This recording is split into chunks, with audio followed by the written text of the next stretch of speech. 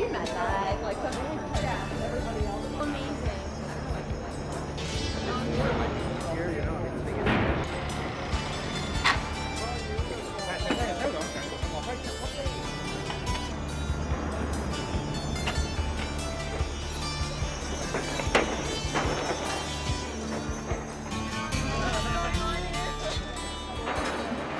I told you a lot of action, right? Yeah. So what you're looking at is we have 86 guys on the Bon Jovi tour. We also hire about 60 local stagehands as well. What are the VIP packages for Bon Jovi like? You said that was one of your specialties? Uh, and this will be interesting from a PR perspective. Is about six years ago, uh, promoters got smart and, and artists got smart and they don't make any more money on record sales anymore. So the scalpers were making all this money. They were selling the front row tickets for like, you know, $1,500 or whatever. Um, so they said, well, why can't the, it's the artist doing the show, why shouldn't they be getting the revenue? So on different tours, you'll get a meet and greet, you'll get a backstage tour, you get a photo op with the artist. Uh, on Bon Jovi, you get a really nice pre-show party with open bar and catering. You get autographed memorabilia. Uh, you get you get merchandise that you can't get anywhere else. You get the ticket inside the pit where Jon like high fives you sometimes. And what we did unique on this tour is you, you take your chair home with you actually. So it's a Bon Jovi wrapped chair and you take it home. It's really, it, it's different, but it's cool. So, what do you think? Would you go into this kind of line of business? Absolutely. Yeah, I'm wondering too. what kind of uh, openings there are in Canada though.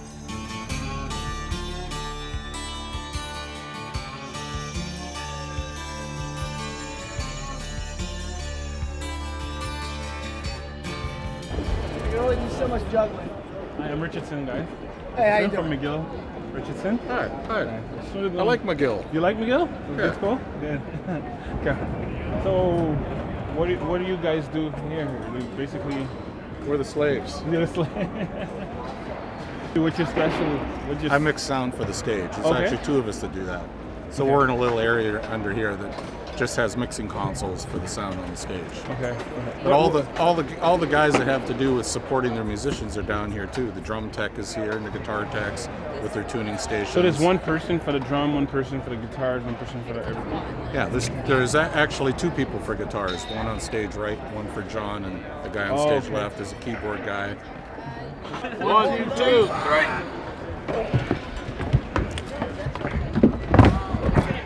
like the sound effects. Perfect, guys. We'll put the cap back on the lid.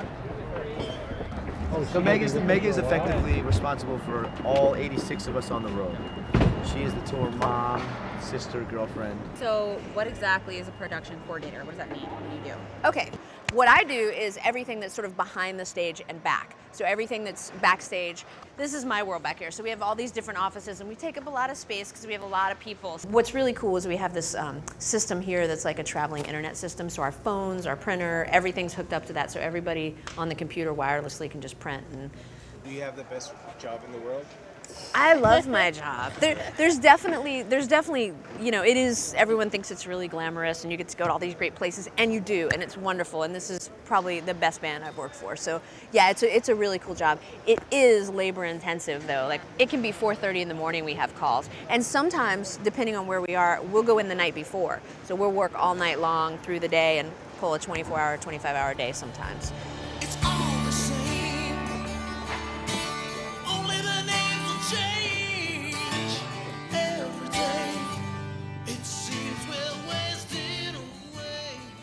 Oh, that's incredible. I think it's, I mean, just look around, there's nobody else doing it. You know, I think we're the only people here that have this access. Public relations. I guess that's kind of what we do. So yeah, I'm just a lighting guy. I fix lights and climb and yell at people. How long have you been doing this? with Four years. Jovi? Oh, with Bon Jovi. Oh. Started in January of 2010. Oh, okay. The crew guys actually really get something out of it. I've had like the production manager pull me aside and he's like, he's like, I really like doing it because we're, we're so caught up in this bullshit every day, just setting up equipment and the, the, the machinery. We never get to go out and talk to people. So even though like, well, look, we might not be changing anyone's life, but to talk to people who are from the community and to like talk about what we do, it, it feels good to some of these guys. So I've had quite a few of them come up to me and say they really enjoy it. We're all would be interested here to do what Mike is doing, since you're all in PR and uh, I'd be interested, but to be honest, I don't know if I could do it so well. Like I feel like it takes, like like I said, like it's a certain personality type. He's an entertainer by himself, yeah. From a business perspective, Jon's demographic is like uh, 28 to 45 year olds roughly. If we can get into a college market and you guys talk about it on radio, you write about it in the school paper, A, maybe you guys will end up liking Bon Jovi and you're a lifetime fan. Uh, it can help sell concert tickets to a market where we're not normally selling. So there is that business side to it, of course. Like Bon Jovi has lasted for 30 years, not just because they play good music, but because they're a a solid brand that has a solid identity. You know what I mean? That everyone is aware of. So that's like cool for us too, like positioning and everything. Like that's what as PR you want to do. You want to position the product accordingly. So we've been here since 10 in the morning. So we started seeing the crew setting up the rigging and the lights and the stage, everything in pieces. And now it's later in the afternoon and we get to see everything put together and how the crew are working together.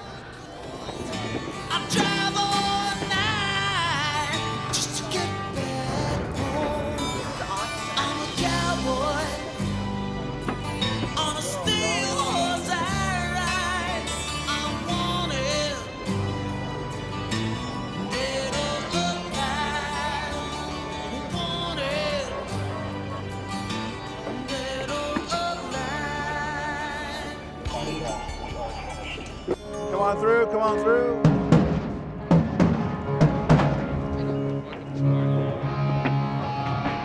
So you can see these are our robotic controlled video screens. As you can see, there's five of them, hence the numbers one through five.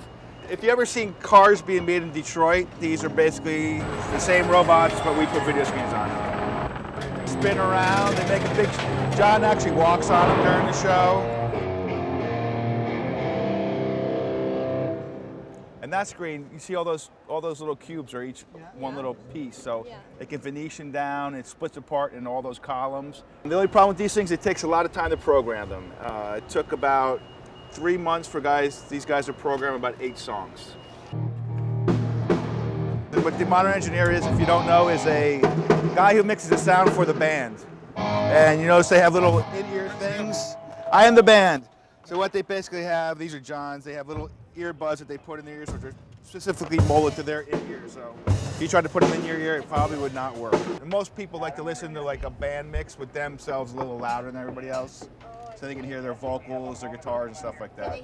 So this is actually, those are all Jon's guitars right there. Kurt is his uh, guitar tech. Talk boxes are right, actually right there. Yeah, the wow, wow, yeah. Living on a prayer. Montreal by far is the loudest crowd we've ever played.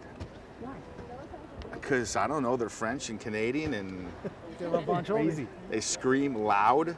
And I I think this place is built to make it sound loud also for the hockey matches. Oh, yeah. So he must like coming here. He loves coming here. That's why we've been back. This is like our sixth, fifth time back this tour, which we've never done before. Third time I've been here to the city in this tour. So I love Montreal. It's a great city. I think it made me more interested in entertainment PR uh, more than anything. I just didn't did not expect this. So exciting. Are you excited about the show? Definitely. I love Bon Jovi. Here you go, guys. Thank you. Bon Jovi tickets. Thank you.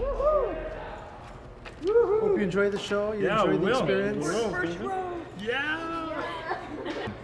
A concert uh, as part of your education, that's a first. That's that's great. I mean, who would have thought about that? I, I'm just, I can't even word it. I smile every time I think about it.